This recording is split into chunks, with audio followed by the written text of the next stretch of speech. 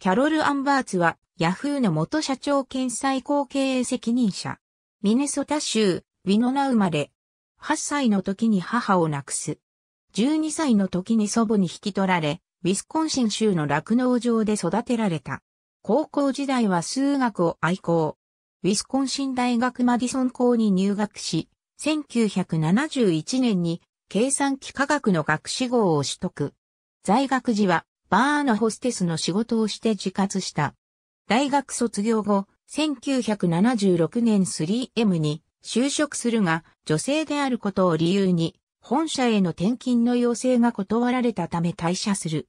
その後、デジタルイクイップメントコーポレーションを経て、1983年、創業して間もないサンマイクロシステムズに入社。当時の CEO、スコット・マクネリに次ぐ第2位の役員にまで上り詰めた。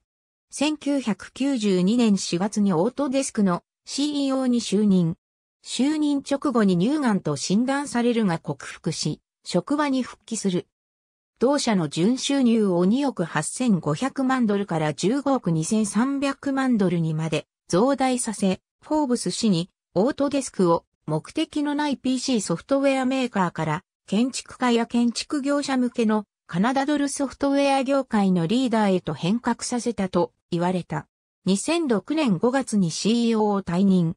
2009年1月に Yahoo の CEO、4月社長に選任された。新しい経営方針を打ち出したが、いずれも不発に終わり、2011年9月解任、更迭された。シスコシステムズの取締役も務める。ブッシュ政権の大統領科学技術、諮問委員会委員も務めた。ありがとうございます。